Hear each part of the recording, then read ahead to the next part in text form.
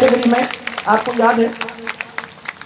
मुख्य नहर के अनुग्रह शाखा ओहो वह इसकी सभी वितरकाओं का हम लोगों ने पुनर्निर्माण करा के और अनुगढ़ शाखा के अंतिम छोर तक पानी पहुँचाया। ये अनुगढ़ वाले यहाँ बैठे हुए हैं। अरे महाराज इन्होंने हमको कितना परेशान किया। अब पहली दफ़ा जब मुख्यमंत्री बन के आई तो मैं तो सीख- न- नवसिखिया थी। इन्होंने वो शुरू किया हुआ। आंदोलन। मैं सीख रही थी कि वितरिका क्या होती है और नहर क्या होती है और ये सब सीख रही थी। इनमें से आया कोई नहीं मेरे पास। बैठ गए, हंगामा बना और इतना हंगामा बना इन लोगों को एक बहुत लोग घायल भी हुए, बहुत लोगों की मुसीबत भी हो गई, ये सब हुआ। बाद में मैंने इन लोगों से पूछा कि तुम्हें यही काम करना था तो मेरे पास आ जाते। एक मिनट के अंदर मैं तुम्हारा काम वैसे ही करना था। पहले कर देती। परंतु महाराज क्या है? परिवार में जब अपन आदत डाल देते हैं ना कि जब तक तुम नाचोगे नहीं धरना नहीं करोगे लड़ोगे नहीं जब तक ये सब काम नहीं करोगे तब तक तुम्हारा काम होगा नहीं। अभी चल रहा है। आप अ, मैं देख रही थी कि गेहूँ की खरीद ऑनलाइन रजिस्ट्रेशन की अनिवार्यता को कर दी है। भैया अनिवार्य है कि आपको ये रजिस्ट्रेशन करना पड़ेगा। लेकिन ये ऑनलाइन की जो गिरदावरी वगैरह है और रजिस्ट्रेशन साइट क्योंकि नहीं खुलती है, इसकी वजह से करीबन पाँच परसेंट किसान ऐसे हैं जिनका जिनका रजिस्ट्रेशन हुआ है। अब आप समझ लीजिए कितने किसान बेचारे तड़प रहे हैं कि हमारा सामान बिक जाए, परंतु बिक नहीं रहा। है पड़ा हुआ है, खराब हो जाएगा, और जब वो बिगड़ने लगेगा आ रही है, आ रही है, जा रही है, और फ्री मिल रही है। हाँ और बिजली में जो बिल है, वहाँ नए नए चार्ज लगते जाते हैं। तो इनको याद आ जाए कि ये बिजली का बिल है। और फिर कहते हैं कि मुफ़्त बिजली। मैं यही कहती हूँ कि गलत बात कोई किसी को बोलना नहीं चाहिए। ये आपका ही रूल है। सही बात सबको कहना चाहिए और अगर नहीं कर सकते तो कह देना चाहिए कि भाई साहब, हम नहीं कर सकते। जब कर पाएँगे तब हम आपके लिए कर देंगे। घरेलू बिजली एक समय था जब 22 से 24 घंटे मिला करती थी। एक समय था जब किसानों की बिजली छह घंटे तक मिला करती थी। एक समय था जब गौरव पद के द्वारा गाँव से गाँव जुड़ जाते थे, जुड़ गए थे। आज तेईस में से चार यूनिट बिजली के तो बंद हैं और जो बाकी उन्नीस हैं, उनमें बिजली कमी निकलती है पुराने जमाने में महाराज से आप सबको बहुत सारी बधाई देना चाहती हूँ। कि आपने एक ऐसा सुंदर मंदिर नहीं, आपने एक ऐसा सुंदर मंदिर बनाया, ऐसा भव्य मंदिर बनाया। और मुझे गर्व है इस बात का कि खाली विश्नोई समाज का मामला नहीं है ये। ये 36 के 36 कौम का मामला है और सब लोगों ने मिलके, सब लोगों ने मिलके ये सुंदर सा मंदिर बनाया है। या आप, हम सब दर्शन करेंगे, ईश्वर से प्रार्थना करेंगे कि आने वाले समय के अंदर हम सबके ऊपर न्याय करने वाली ऐसी सरकार आ जाए जो हम सबका हाथ प्यार से के इस मंदिर की आपको याद आएगी। सूरतगढ़ की इस पावन धरा पर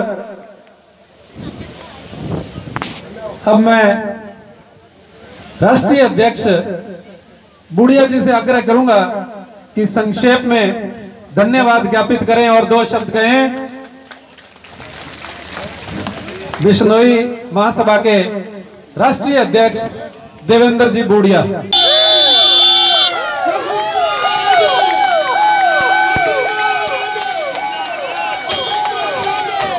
शांति बनाए रखें आगे आएँगे वसुंधरा राजे वसुंधरा राजे वसुंधरा राजे वसुंधरा राजे वसुंधरा राजे सूरतगढ़ की धरती पर हमारे यशस्वी पूर्व मुख्यमंत्री आराम से आराम से।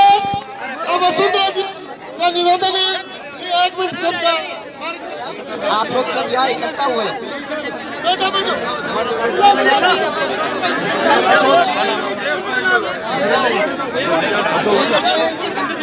भाई सब लेडी जो सब इकट्ठा हुई है और आप लोग सबको ये माइक तो काम नहीं कर रहा। परंतु आप लोग सबको मेरा बहुत सारा प्यार मेरा बहुत सारा धन्यवाद कि आप लोग सब यहाँ इकट्ठा होके और आप लोगों ने सबने इतने प्यार से मेरा स्वागत किया। उसके लिए बहुत बहुत धन्यवाद।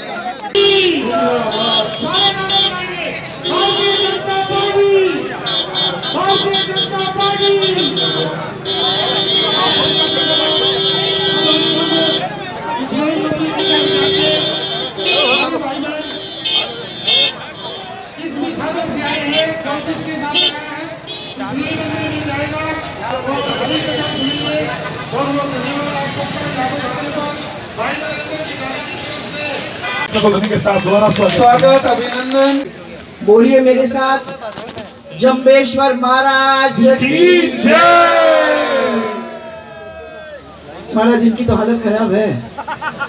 नहीं निकल रही है। ही नहीं निकल रही तो वहाँ बेचारों की क्या हालत हालत ठीक आप कर दोगे मुझे पता है। ज़ोर से मेरे साथ। बोलिए जम्बेश्वर महाराज की वही ठीक बात? हमारे हरिद्वार से आए इतने दूर से हम लोगों के बीच में और बहुत ही प्रतिष्ठा के। कथावाचक आदरणीय अध्यक्ष देवेंद्र जी आपको मेरा प्रणाम। और अखिल भारतीय जम्बेश्वर सेवा दल अध्यक्ष। हमारे यहाँ जो विनोद जी यही थे कहीं? विनोद जी, प्रणाम। हमारे सांसद भाई निहाल चंद जी, दूसरा वाला तो गया क्योंकि आगे का कार्यक्रम है। इसलिए उसका काम है जाके वहाँ, वो भी मेरा भाई। हमारे साथ सहयोगी विधानसभा के अंदर विधायक बिहारी बिश्नोई जी। हम्म। पूर्व सांसद हमारे जसवंत जी बिश्नोई। अरे जसवंत जी, इतने दूर से हम लोगों के बीच में आए हैं महाराज। मेरे को देख के अच्छा लगता है क्योंकि हमारा तो शुरुआत ही वहीं से हुई थी दोनों के साथ। राम सिंह जी, वो भी आगे गए हैं। और राम प्रताप जी हमारे विधायक, राम प्रताप जी, हमको ये भक्ति रस का आनंद देने वाले हैं। हरिद्वार से पधारे। हमारे पूज्य राजेंद्र नंद जी के महाराज जी को भी आज इस मंच पर मैं प्रणाम करना चाहूँगी। और बिश्नोई सभा समिति सूरतगढ़ का मैं बहुत बहुत आभार व्यक्त करना चाहूँगी, जिन्होंने मुझे इस इतने पवित्र कार्यक्रम के अंदर यहाँ बुलाने का काम किया। मुझे याद है, जब मैं मुख्यमंत्री थी और महाराज ने हमारे समाज की तरफ़ से, हमारे सब पूरे परिवार की तरफ़ से हम तैयार करना चाहते हैं ताकि हमारा जो ये सपना था, वो हम पूरा तरह से साकार कर सके। मामला आसान नहीं था, महाराज जी जानते हैं। परंतु ये ज़मीन हम लोगों ने पट्टा बना के और 27 मार्च को 2018 के समय आपके हाथ में ये पट्टा देने का काम किया। मैंने उस समय आपको याद होगा महाराज मैंने कहा, ये कहा था कि मेरी, यही मेरा मेरा विश्वास है कि आगे चल के बहुत ही जल्दी, बहुत ही जल्दी आप एक बहुत ही भव्य मंदिर बनाकर हम लोगों को यहाँ देंगे। और, मुझे फिर आप वहाँ मंदिर दर्शन करने में आप लोग मेरे को बुलाएँगे। अब ये राजनीति होती है महाराज बोलना भी पड़ता है और आप लोगों को हाँ भी करना पड़ता है। परंतु ये ज़रूरी नहीं है क्योंकि जब समय निकल जाता है मंदिर तीन चार महीने, तीन चार साल बाद बनते हैं। कौन होता है, कौन नहीं होता है राज्य में? उस समय राजनीति क्या होती है? वो सब चीज़ों के ऊपर बहुत सारी चीज़ें डिपेंड करती हैं। हमने अपनी बात कह दी। आज मुझे बड़ी प्रसन्नता है कि वो दिन आ गया है जिसका मैं बहुत दिन से इंतज़ार कर रही थी। परंतु मेरे में ये नहीं था कि इतने जल्दी मैं दर्शन कर पाऊँगी। आज वो मंदिर भव्य हमारे सामने खड़ा है। और आप लोगों ने मेरे उसके दर्शन भी करा दिए। और इसी बहाने महाराज जी, इन सब जो कि छत्तीस कौम के देवी देवताएँ बैठे हैं आप भूले नहीं, आपने मुझे बुलाया।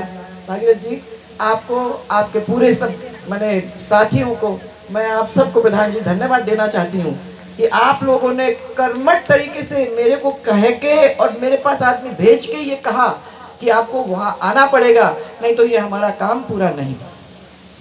बहुत बहुत धन्यवाद आपको। देखो जम्बोजी महाराज ने 1485 में विष्णोई पंथ की स्थापना की थी महाराज। और हरि नाम का वाचन किया था। हरि भगवान विष्णु का नाम है मानते हैं कि विष्णु विष्णु शब्द जो है, वो वैष्णवी शब्द से निकला है।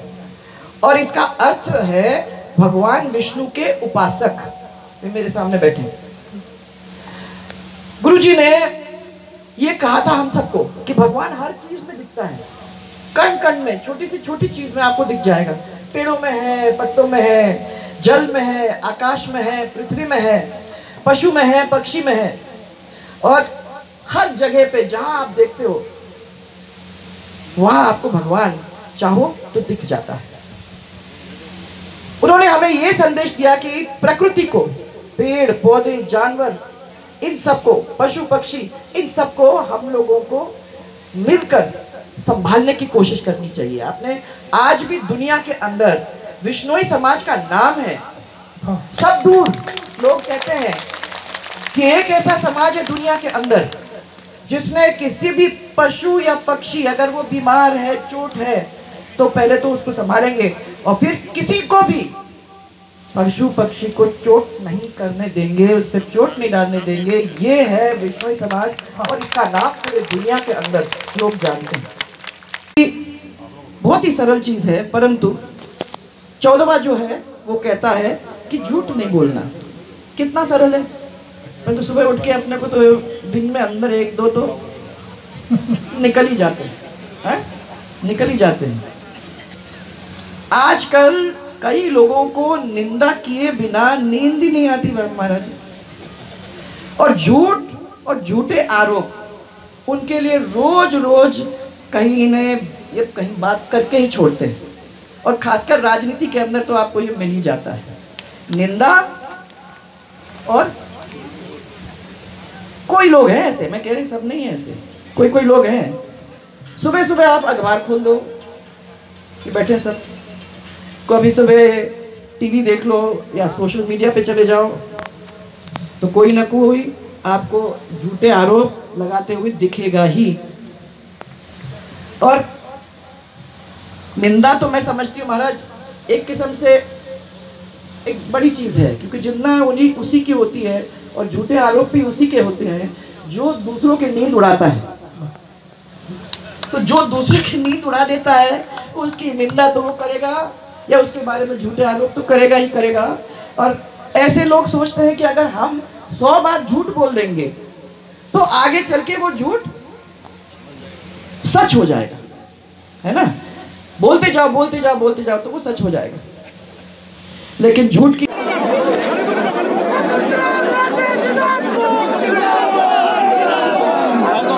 भाई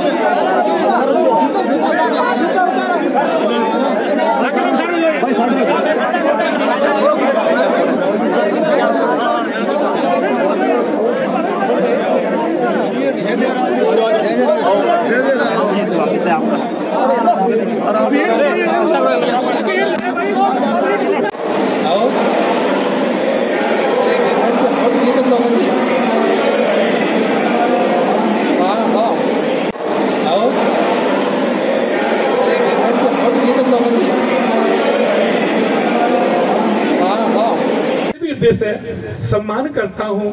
इनकी जो पूज्य माता जी थी हमने उनके साथ हमने उस ए, ऐसे बिहड़ क्षेत्र में ऐसे अनाथ क्षेत्र में जाकर हम लोगों ने छत्तीसगढ़ के क्षेत्र में जाकर हम लोगों ने उस पर बहुत काम किया। हमेशा वो हमें बेटा कहकर पुकारती थी बेटा अब ये काम करना है। तो उनको देखकर आज माता जी की याद आई। हम छोटे बच्चे जो ग्वालियर में गए महल में तो तो भी माता जी ने कहा, बेटा, ये व्यवस्था संभाल ली है। इतने सारे संत, हज़ारों संत हो जाते थे, जिनका पालन पोषण ही संतों में हुआ हो। जो संस्कृति को जानती हो संतों की, भला वो संतों का सम्मान क्यों नहीं करेंगी? इसलिए आपके मन में संतों के प्रति इतना भाव देखा जाता है, इतनी श्रद्धा देखी जाती है। संतों के प्रति ही नहीं, अपने हमारे बीच में अखिल भारतीय विश्नोई महासभा के प्रधान श्री देवेंद्र जी बूढ़िया पधारे हैं। विश्नोई सभा समिति आपका हार्दिक स्वागत और अभिनंदन करती है। समाज की सर्वोच्च संस्था अखिल भारतीय विश्नोई महासभा के आप अध्यक्ष हैं और आपने अध्यक्ष बनने के पश्चात समाज में विकास की गंगा बहा दी है। सम्राटन फाउंडेशन में आपने बढ़ चढ़ मेरे पास बैठ गए, हंगामा बना और इतना हंगामा बना, इन लोगों को एक कि बहुत लोग घायल भी हुए, बहुत लोगों की मुसीबत भी हो गई, ये सब हुआ। बाद में मैंने इन लोगों से पूछा कि तुम्हें यही काम करना था तो मेरे पास आ जाते, एक मिनट के अंदर मैं तुम्हारा काम वैसे ही करना था, पहले ही कर देती। परंतु महाराज, क्या है, परिवार में जब अपन आदत डाल देते हैं ना, कि जब तक तुम लाशोगे नहीं, धरना नहीं करोगे, लड़ोगे नहीं, जब तक ये सब काम नहीं करोगे फ्री? सौ यूनिट बिजली फ्री हो रही ना? अरे भाई साहब, फ्री मिल रही है आ रही है, जा रही है, आ रही है, जा रही है, और फ्री मिल रही है। हाँ? और बिजली में जो बिल है, वहाँ नए नए चार्ज लगते जाते हैं। तो इनको याद आ जाए कि ये बिजली का बिल है। और फिर कहते हैं कि मुफ़्त बिजली। मैं यही कहती हूँ कि गलत बात कोई किसी को बोलना नहीं चाहिए। ये आपका ही रूल है। सही बात सबको कहना चाहिए और अगर नहीं कर सकते तो कह देना चाहिए कि भाई साहब, हम नहीं कर सकते। जब कर पाएँगे तब हम आपके लिए कर देंगे। घरेलू बिजली एक समय था जब 22 से 24 घंटे मिला करती थी। एक समय था जब किसानों की बिजली छह घंटे तक मिला करती थी। एक समय था जब गौरव पद के द्वारा गाँव से गाँव जुड़ जाते थे, जुड़ गए थे। आज तेईस में से चार यूनिट बिजली के तो बंद हैं और जो बाकी उन्नीस हैं, उनमें बिजली कमी निकलती है। फ्री सौ यूनिट बिजली फ्री हो रही ना? अरे भाई साहब फ्री मिल रही है आ रही है, जा रही है, आ रही है, जा रही है, और फ्री मिल रही है। हाँ? और बिजली में जो बिल है, वहाँ नए नए चार्ज लगते जाते हैं। तो इनको याद आ जाए कि ये बिजली का बिल है। और फिर कहते हैं कि मुफ़्त बिजली। मैं यही कहती हूँ कि गलत बात कोई किसी को बोलना नहीं चाहिए। ये आपका ही रूल है। सही बात सबको कहना चाहिए और अगर नहीं कर सकते तो कह देना चाहिए कि भाई साहब, हम नहीं कर सकते। जब कर पाएँगे तब हम आपके लिए कर देंगे। घरेलू बिजली एक समय था जब 22 से 24 घंटे मिला करती थी। एक समय था जब किसानों की बिजली छह घंटे तक मिला करती थी। एक समय था जब गौरव पथ के द्वारा गाँव से गाँव जुड़ जाते थे, जुड़ गए थे। आज तेईस में से चार यूनिट बिजली के तो बंद हैं और जो बाकी उन्नीस हैं, उनमें बिजली कमी निकलती है। शायद आप भी वही मानते हैं। और, जहाँ कोई काम बिना पैसे के नहीं होते महाराज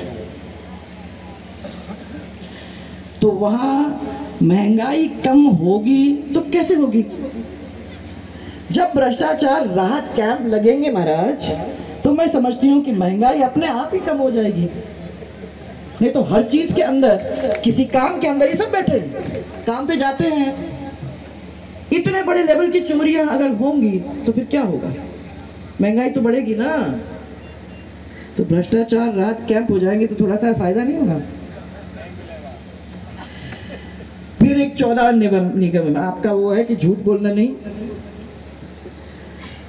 तो झूठ बोलकर सत्ता प्राप्त करना महाराज, लोगों को धोखा देना और सत्ता प्राप्त करना, ये क्या चीज़ है? कौन सी कर्जा माफ़ी हुई है? कौन से खेतों के पास आपके एग्रो प्रोसेसिंग यूनिट्स लग गए हैं?